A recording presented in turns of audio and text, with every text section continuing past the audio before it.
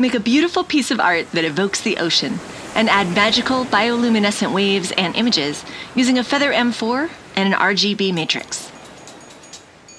I'm using tabletop epoxy and alcohol inks to create the ocean. My canvas is a piece of quarter inch acrylic that I've roughed up with sandpaper and sprayed with two coats of Mirror Effect spray paint.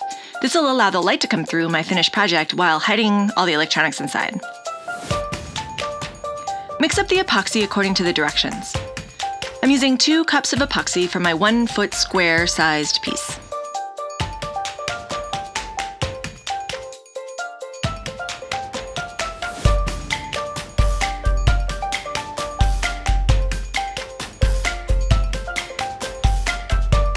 Divide the fully mixed epoxy into individual color cups. I have five different cups for my translucent alcohol ink colors, and one cup with some sand, and one containing white mica powder to make the surf. I'm reserving about a quarter of the epoxy in the main mixing cup, so I have some clear epoxy to use as well.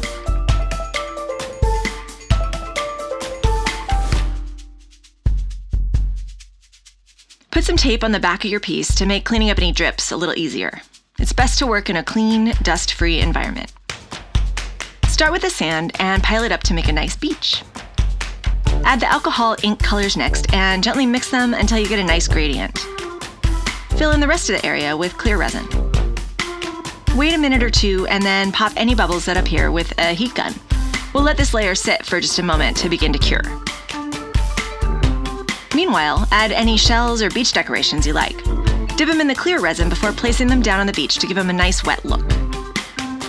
After about two or three minutes, it's time to add the white surf. Be sparing with the white. It's always easy to add more, but you don't want to put too much on there. Use a hair dryer set to high to create the magic ocean waves.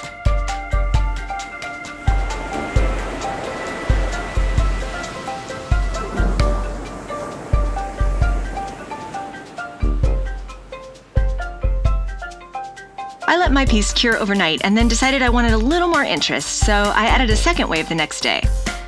You don't want to wait more than a day or two between pours or your epoxy might not bond as well. I'm using opaque mica powder to create the surf. It's got some iridescence to it, and it looks fantastic combined with the translucent alcohol ink colors in the waves.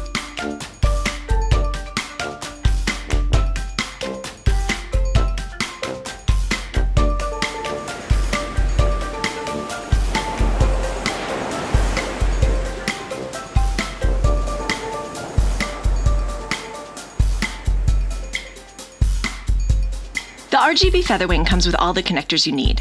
Solder both headers to the Featherwing, then solder the screw terminal, the power terminal, and the ribbon cable connector. Finish up by soldering the feather to the Featherwing. Insert the RGB matrix power wires into the screw terminals and plug in the power and ribbon cables.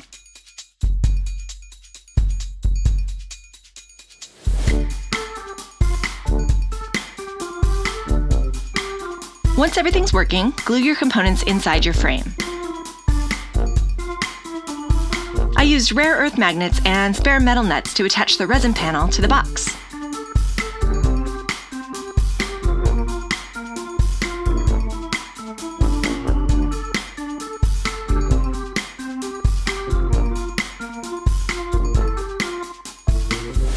You can download the code and images from our step-by-step build tutorial at learn.adafruit.com.